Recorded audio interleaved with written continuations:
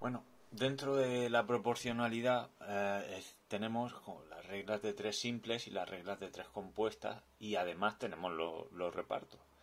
Por lo tanto, realizaremos tres vídeos explicando cómo se realizan, pero más o menos el proceso suele ser eh, muy parecido teniendo en cuenta unos detalles que son muy fáciles de identificar y luego aplicar para hacer un cálculo correcto, ¿de acuerdo?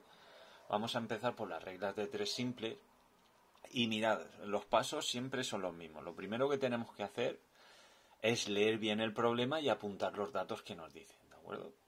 Y luego tenemos que hacer el juego de las manos. El juego de las manos es muy sencillo, ¿vale? Si yo al hacer el juego de las manos con los con los datos, imaginaros, eh, ocho personas pagan 50 euros por por una cena, si son más personas, pues pagarán más.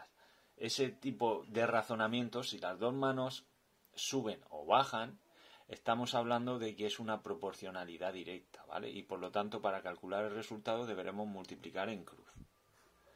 Si ahora es una de las manos sube y la otra baja, estaremos hablando de una proporcionalidad inversa y tendremos que multiplicar en paralelo.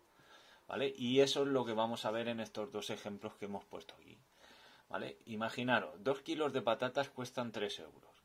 ¿Cuánto valdrán 5 kilos? Pues mirad, muy sencillo. Primero pongo los datos, que son los kilos y los euros, ¿vale? Y voy poniendo lo que son los datos, es decir, tengo que 2 kilos valen 3 euros y me están preguntando cuánto valen 5 kilos, por lo tanto aquí pondré una X. Ahora lo que hago es hacer el juego de las manos, es decir, si 2 kilos valen 3 euros, si yo aumento el número de kilos, también aumenta el número de euros. Por lo tanto, estamos ante una proporcionalidad directa y lo que tenemos que hacer es multiplicar en cruz. Es decir, se nos quedaría el cálculo así, 2x igual a 15, que es 3 por 5, ¿vale? Despejamos la x y nos sale que el precio de 5 kilos sería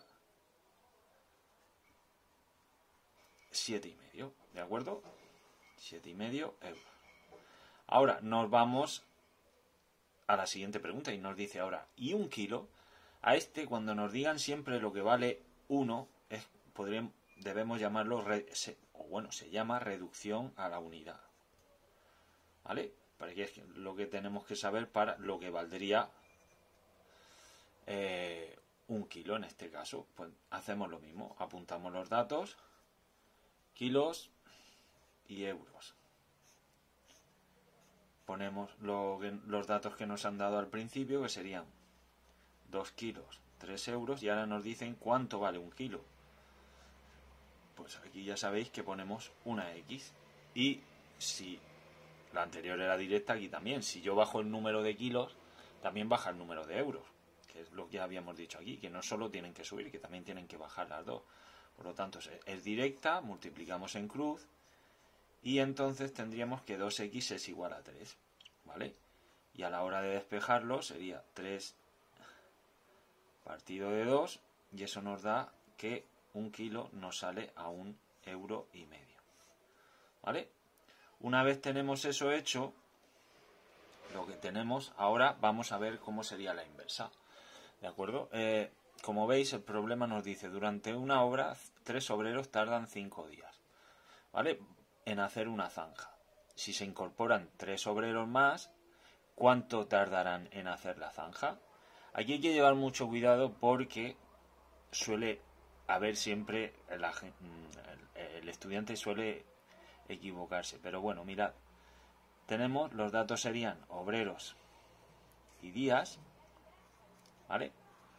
Y tenemos eso, que tres obreros tardan cinco días. Y ahora te dice, si se incorporan tres obreros, es decir, a los tres que ya había, si se incorporan tres, por lo tanto serán seis, ¿vale? No serían tres, ¿de acuerdo? Eh, ¿Cuánto tardarían? Pues tenemos y ponemos una X. Y ahora vemos, si tres obreros tardan cinco días, si nosotros aumentamos el número de obreros, el tiempo, el tiempo bajaría. Por lo tanto, estamos ante una proporcionalidad inversa y lo que tenemos que hacer es multiplicar en paralelo, ¿vale? Por lo tanto se nos quedaría que 6x es igual a 15, ¿vale? Y a la hora de despejar, pues ya sabéis que sería 15 entre 6